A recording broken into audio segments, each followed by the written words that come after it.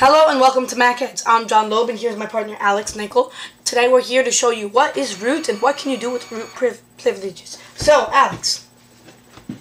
Okay, well, first of all, the first trick is how to enable the root user. Now, this is something which you can do on a computer without any access to the computer, and it has to be a Macintosh computer. Right here you see is the logon screen, and we have to click a username to log in. We're going to fix that. You hold the power button for about five seconds to shut down the computer, and when it shuts down, the screen should go dark. Now, now we're going to turn on the computer like normal, except we're going to hold the Apple key, and we're going to hold the S key. So let's turn it on and hold Apple S. Now you'll notice it looks like it's doing it normally at first, you know, the normal screen, but then you're going to see some black and white stuff come up on the computer. So right here, and this is actually a terminal, and you, all you had to do is turn it on and hold Apple S in order to get to this terminal. So now, once it comes up, you're going to wait like 10 seconds, then hit enter.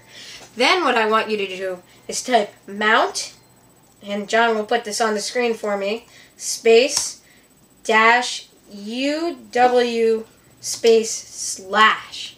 And now we're going to hit enter. And what that does is it makes us able to edit the file system and do stuff. And you might get an error thing with that or anything, but it will work.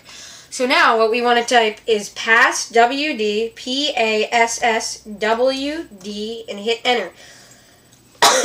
now what you're going to do is type a password. It won't display while you're typing and confirm it after you hit enter and type it again when it says confirm password and then hit enter. Now when you type passwd, it'll come up and say new password. You type the password, hit enter, confirm the password, hit enter, and then what you want to do once you're done with that process is you type exit. E X I T. And now normally when you hit it, a little logout thing will come at the bottom of the screen and say log out, and then the computer will boot up and you'll be back at the login screen. If that doesn't happen, type exit again and hit enter until it does. And then, so that didn't work for me the first time. I type exit again and hit enter. And now this time it's working. And you can see all this stuff is going to come up on the screen.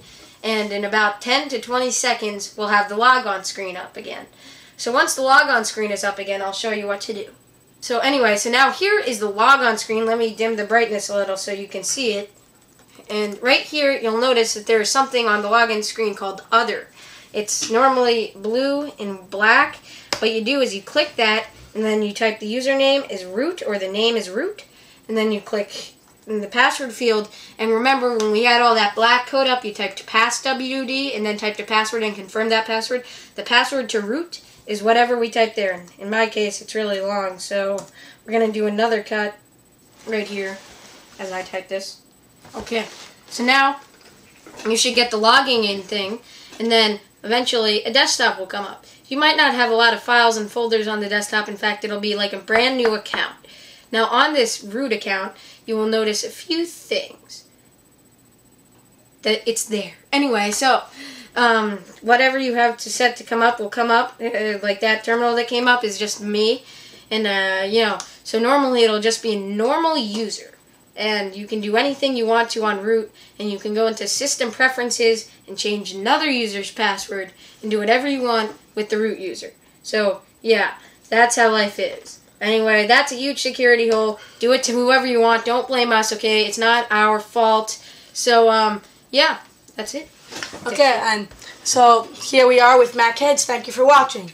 And if you have any questions, um, just write in the comment box and we'll answer them. Thank you.